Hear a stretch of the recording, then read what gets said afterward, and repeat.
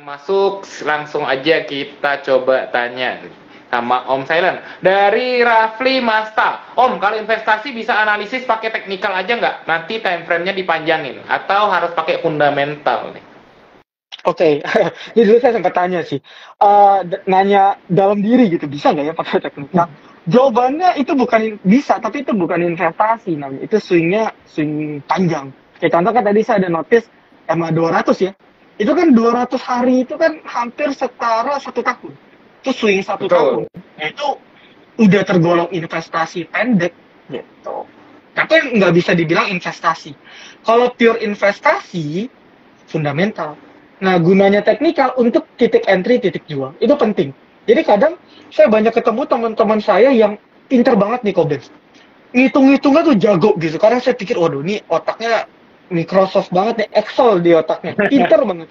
Tapi ketika saya tanya loh, kalau beli sahamnya di harga segitu, ya nggak apa-apa, sahamnya bagus. Sedangkan kalau kita nih, yang mungkin kita ngerti fundamental, lalu kita ngerti teknikal, wah kita bisa cari titik entry-nya lebih maksimal, profitnya lebih maksimal, resiko gagalnya juga lebih minimal. Gitu. Jadi combine itu the best. Itu ya. Jadi combine aja ya teman-teman ya nih. Hmm jadi membuat uh, jadi nggak perlu lah kita sentimen sentimen ala apaan fundamental ala apaan teknikal ala apaan bandarmologi intinya semua itu dipakai untuk menentukan entry dan exit aja sih sebenarnya menjadi hmm. konfirmasi diri. Jadi bukan cuma ibaratnya kita survei ke tetangga-tetangga nanyain kira-kira saham ini bagus nggak ya? Nah konfirmasinya itu lewat dari yang namanya analisa teknikal ya tapi untuk mencari bagus tidaknya ya pasti lewat dari fundamental. Ya nggak perlu belajar sampai menjadi mhm. dosen-dosen banget ya. Harus sampai bongkar-bongkar mhm. laporan keuangan sampai seluk beluknya tapi nggak beli juga. Ya setidaknya kita ngerti aja tadi ya analisa analisa fundamental dasar. Berikutnya ada lagi pertanyaan nih tadi dari siapa nih Demang 0814 untuk entry bagusnya pada saat posisi di atas MA atau di bawah MA nih atau saat crossing MA mungkin Om Silent bisa jawab. Oke, okay. uh, eh, yang jelas di bawah MA itu apalagi untuk pemula itu udah udah salah ya karena kalau kita belajar teori harga atau candle ya karena kita kan mostly pakai candle candlestick di bawah moving average kan berarti sama lagi posisi turun nih lagi tren turun tinggal kita lihat aja dia di bawah EMA berapa gitu. Kalau bahkan di bawah EMA 200 ya berarti potensi tren turun panjang. Kayak contoh batu bara. Kalau kalian cek after break di bawah EMA 200 udah kelar. Sampai sekarang masih belum balik. Itu nah uh, lalu muncul dua pilihan kan? Harus di atas atau pas crossing. Jadi dulu kalau kita belajar secara general kita belajarnya teorinya golden cross dan dead cross. Betul ya teman-teman ya EMA atas EMA angka kecil motong EMA angka besar golden cross. Sebaliknya kalau angka besar motong angka kecil ke bawah dead cross. Dead cross artinya negatif turun golden cross artinya ya tapi ini versi saya ya mungkin teman-teman atau Kobens punya pandangan sendiri. Tapi sebenarnya nggak terlalu applicable gitu. Kenapa? Karena sifat dari moving average ini ialah lagging. Jadi kalau kalian belajar lebih jauh, indikator itu kan ada tipikalnya tuh. Ada lagging, ada leading. Ya, leading contohnya stokastik, RSI, dan sebagainya. Moving average dan berbagai turunan yang moving average, MACD, dan lain-lain, itu lagging. Lagging itu maksudnya gimana sih? Coba nih, kalian nanti buka chart. Ketika sahamnya golden cross, itu biasanya sahamnya udah naik dulu berapa persen atau bahkan di beberapa kasus udah arah dulu sekali dia baru golden pasti telat kalau kita nunggu crossing. Cuman keunggulannya apa? Pasti. Ya legging telat tapi dia validasinya tinggi. Sedangkan kalau leading ibaratnya tuh kayak so tahu nih oh ini ini pasti naik gitu. Kelemahannya ya sering false. Kalau kita nggak combine dengan analisis teknikal lain. Ya keuntungannya kita bisa entry lebih cepat harganya lebih murah gitu. Jadi kalau saya sih udah nggak pernah lagi oh golden cross saya beli nggak pernah. Ya jadi kalau ditanya beli di atas MA ya jawabannya yang itu sih yang paling mendekati ya gitu. Tinggal kita sesuaikan di contoh yang paling sering saya pakai. Misalnya saya pakai MA 20 ya paling common MA 20 oh sahamnya lagi uptrend uptrend koreksi nih sampai MA 20 ya udah cicil beli tinggal kita gambar klasik support ya. Oh pas nih karena biasa moving average itu sama support klasik itu sama angkanya kurang lebih. Gitu. Jadi kalau ada ada klasik support sama moving average biasa angkanya nggak jauh beda. berarti itu valid supportnya kuat. Udah kita entry di sana stop lossnya di berapa udah selesai. Itu itu ya Kobens ya? Itu terkait tema ya jawabannya kayak gitu. Nah ini ilmu loh. Ilmu ini mahal loh ya teman-teman ya. Ini dikasih cuma-cuma loh sama Om Silent. Thank you loh Om Silent. Ini aja, ini ilmu, ilmu loh ya. Ini uh, tidak bernilai itu nilainya tidak ternilai lagi ya. Jadi kita bisa belajar bareng lagi. Walaupun ya ilmunya basic lah. Anda teman cari-cari di YouTube banyak cari-cari di buku Hmm. banyak. Tapi ini refreshing buat kita bahwa kita trading itu perlu kadang diingatkan kembali ya. Betul. nah eh, sebelum kita masuk ke akhir sesi nih, saya mau tanya, ah, tadi sektoral yang dijagoin Om Silent sudah. Untuk besok nih Jumat berkah, kira-kira ada saham yang dijagoin nggak nih sama Om Silent beserta ada analisanya kali dari Om Silent untuk besok Jumat saham ya? Jumat berkah. Oke, saya coba inget-inget dulu bentar. Karena kalau kalau kalau prinsip saya, saya biasa Jumat kayak Kamis saya udah nggak banyak beli. Kalau saya, ya kalau saya biasa nggak banyak beli. Tapi ya, yang saya pantau, ya mungkin saya boleh spoil watchlist aja ya. Sisanya kalian eh, analisa ulang aja. Ya analisa ulang cocok beli, ya cuan rugi ya itu konsekuensi masing-masing ya teman-teman ya. Jadi pertama yang saya pantau itu masih RAM kebetulan. Jadi saya entry ulang nih after TP, saya entry ulang, entry ulang di RAM. Ya salah satu alasannya sebentar coba. Seingat saya koreksi ya film itu mau RUPS besok. Coba saya cek dulu. Balik lagi karena kan memang pergerakan saham ini lumayan lumayan ini ya, lumayan berhubungan. Dan iya film itu RUPS besok di jam 2. Jadi saya mengasumsikan ya ada ada fluktuasi. Gitu. Itu satu. Satu lagi mungkin kayak Kobens ada notice awan jujur saya juga mantau sih. Ya untuk awan. Jadi kalau kalian lihat broker summary-nya mungkin teknikalnya ya so far masuk lah. Tinggal kita atur-atur trading plan. Nah seingat saya support terdekat ada di 320 atau 326 deh jadi kalian coba dibuka time frame menit lah itu kelihatan kok untuk untuk supportnya. Gitu. Lalu eh kayaknya saya ada mantau satu lagi ini agak eksklusif nih. Saya pantau TSPC ya.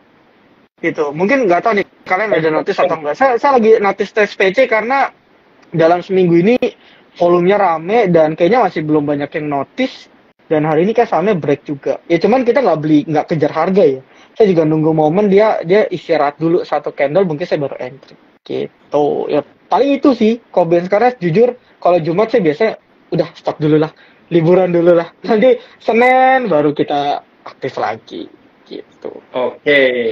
Jadi ini mahal lagi nih ya, lagi teman-teman ya. Ini bukan disclaimer on lagi, ini bukan rekomendasi dari kita, cuman sharing-sharing aja watchlist. Jadi kembali di eh, do you own research ya. Jadi harus di analisa kembali buat teman-teman TSPC for your information nih teman-teman karena ada in, ini kayaknya dividen nih ya 12 12 Juni ya 12 Juni mau dividen jadi dia ini breakout di hari ini ditutup closing 15.40 juga lumayan bagus. Tadi juga dari Om Saren besok ada RUPS film ya RUPS Hmm. film dan juga si RAM juga masih layak pantau ya untuk RAM. Tadi ada film Hmm. RAM ya berarti Om ya.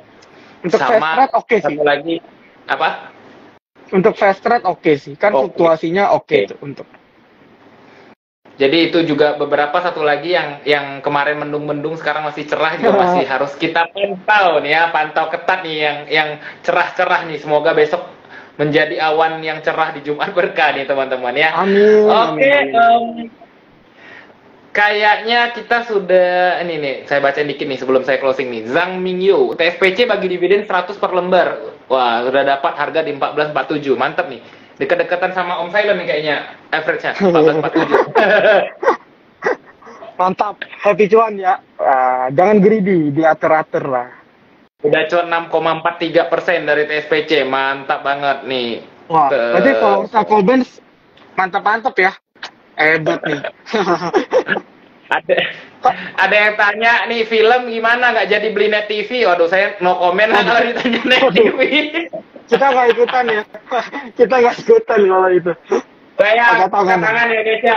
Jadi untuk barang-barang yang tadi ya kita sebut para lord itu ya Lord Luhut aja sudah marah sih. Jadi yang sebut dan para lord itu ya saya hindari.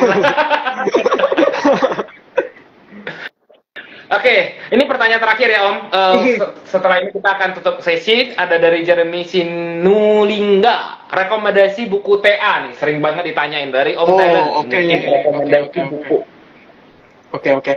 Uh, buku ya. Yang paling dari zaman saya sampai event sekarang, Technical Analysis for Mega Profit. Itu kayaknya udah udah pasti lumayan kalian kenal. Saya lupa siapa yang terbitin ya. Ada Om A itu. Yanto Om. Ya. Ya, wajib. Om. Itu wajib. Karena kalau boleh jujur itu lengkap banget. Saya nggak tahu sih, bahkan kalau ada videonya Anda bisa beli tuh. Saya nggak tahu dia ada kaset atau enggak. Kalau ada itu itu ilmunya udah kompleks dan dan lengkap. Jadi kayaknya udah paket paket lengkap. Nah, Kobens kalau mau jual boleh Kobens lelang lelang. Bisa beli sendiri aja ya di Gramedia ya. Kita nggak jualan buku. Iya. kita nggak jualan buku. Tapi rata-rata semua technical trader yang saya kenal bahkan kayak Koyudi Chen aja saya tanya kok iya. lu sejago itu belajar uh, apa technical dari mana sih? Dari buku kata dari bukunya Pak Edianto. Ong gila berarti hmm. semuanya Pak Edianto. Ong ini sudah menelurkan banyak banget Betul. ya technical bukan hanya apa technical trader bukan cuma di saham ya dari forex ya kripto semua sumbernya sama biar dari buku itu ya Terus kalau kalau satu lagi kalau bu itu kan lokal ya, itu udah oke okay banget. Yeah. Kalau yang internasionalnya, kalau teknikal, uh, apalagi kalau kita mau belajar pattern candlestick itu ada satu yang terkenal tuh Thomas Bul Bulkowski atau siapa itu, mungkin kalian bisa cek. Itu untuk bahas pattern candle itu lumayan kompleks dan detail. Cuman ya bahasa Inggris gitu. Itu banyak kok PDF ebook ebook ilegal itu banyak kok kalian bisa cari aja. Tinggal copy Google Translate copy Google Translate. Itu yang saya recommended ya bagi kita yang internasional ataupun yang tapi Pak Edian Tong itu udah oke okay banget sih. Ya, itu udah udah udah turun temurun kayaknya. Ilmunya memang masih relevan. Ya paling tinggal kita adjust saja dengan kondisi-kondisi market tertentu gitu. Kita tinggal adjust aja gitu jadi ya belajarnya dari buku sumbernya cuma kita improvement aja dengan gaya kita sendiri aja ya. Betul. Jadi makanya setiap trader itu pasti punya karakter sendiri masing-masing. Hmm. Oke, okay, sudah agak kerasa udah satu jam nih Om Saidan. Kayaknya cepat banget oh. ya. Kayaknya baru cepat ya? baru setengah jam ya.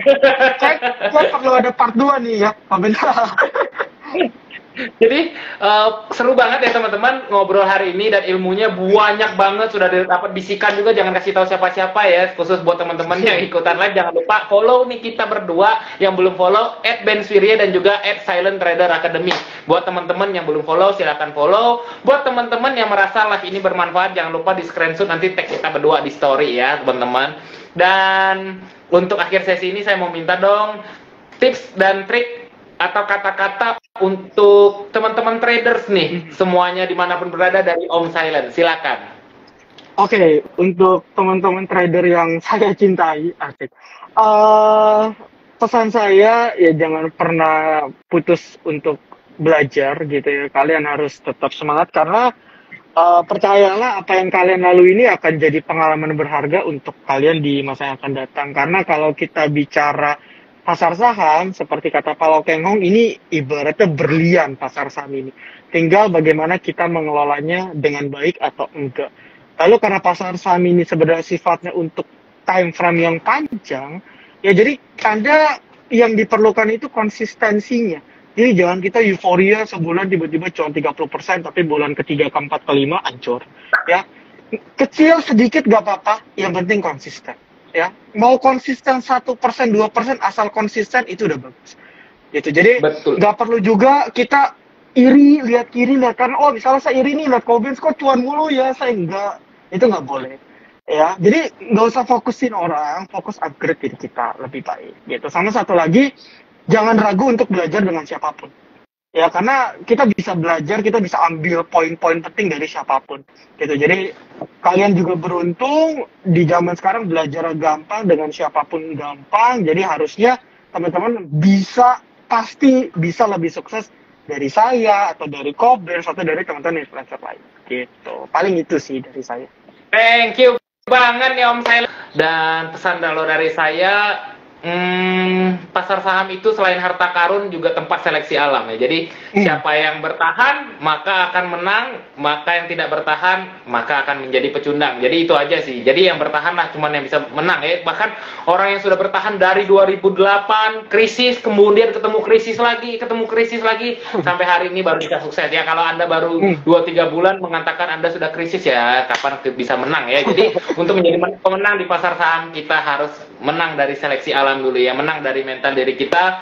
Don't complain to each other. Jangan pernah kita bandingkan ya dengan hasil kita dengan orang lain lah. Ada yang si Anu tuh baru mulai dua tahun sudah cuannya hmm, miliaran, saya cuan cuannya cuma dua puluh ribu setiap hari. Jangan pernah komplain ya, karena setiap orang tuh prosesnya pasti beda-beda.